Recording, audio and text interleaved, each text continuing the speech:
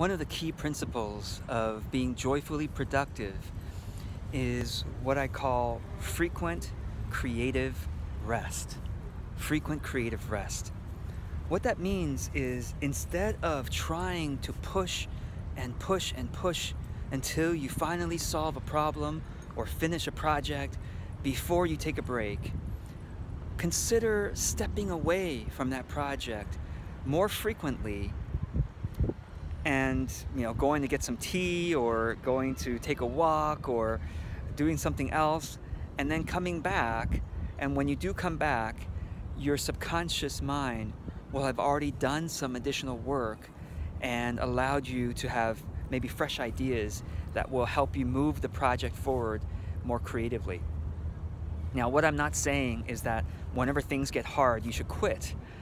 What I am saying, you should be persistent over the long haul on any one project. Do not quit the project, but be more open to taking more breaks while you're working on the project so you can have the benefit of your body moving and your subconscious mind working for you even when you're not working consciously on the project. So I, I needed to explain a sort of neurological principle here.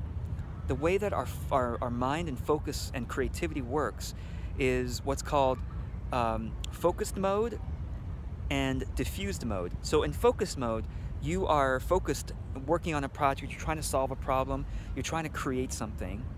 Uh, you know, you're, you're there, you're consciously working on it. So that's called focused mode. But your brain also has something called diffused mode, which is when you're not consciously working on that project. Okay, you've worked on that project for, and um, I've seen studies about how long does it take for for our for diffused mode to be able to kick in. But I, I would say probably anywhere between even as, as short as five minutes focused to some some people might take 15 to 30 minutes focused before the diffused mode can kick in. But anyway, so imagine this: you work you work for 15 minutes focused on a project, no matter how challenging it is for you, right?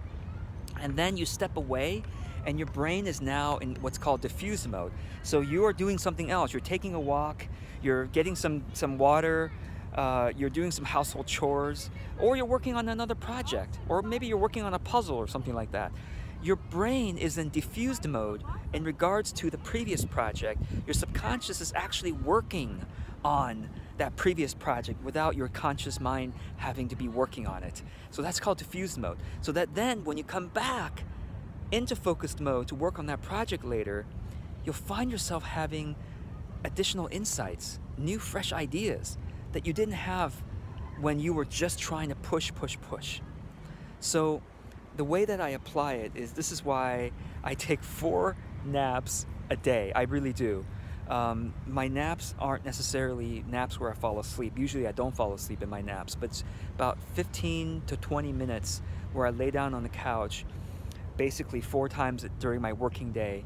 And I find that that really refreshes me and allows me to uh, be in diffused mode so that when I go back and work on the project, I tend to have new and fresh ideas and a new and fresh energy to approach and be creative with, with that project. So uh, same thing, taking a walk. So uh, taking a walk is also really helpful because when you move your body, you move your brain. When you move your body, you move your brain, okay? So I hope you'll um, think about that the next time you're working on a project. Don't feel you have to just sit there and push, push, push. It's often more productive if you step away more frequently, okay? Move your body and move your brain.